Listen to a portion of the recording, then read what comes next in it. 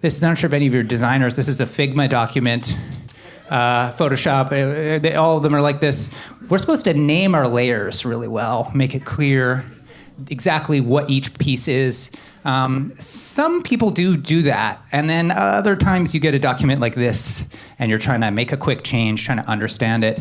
Um, and uh, this is the way that a human would work, but like computers now uh, can just you click a button and they rename them.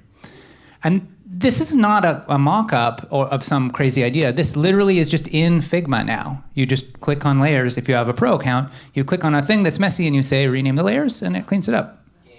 It's a game changer. And this is something that is such a perfect application of this. It's not chatting with a thing and saying, please clean this up. It's just right in line. We're doing the messy work that we messy humans do, and the computers can come along and help clean it up and make it easier for other humans to understand what we're doing. And that I really love that.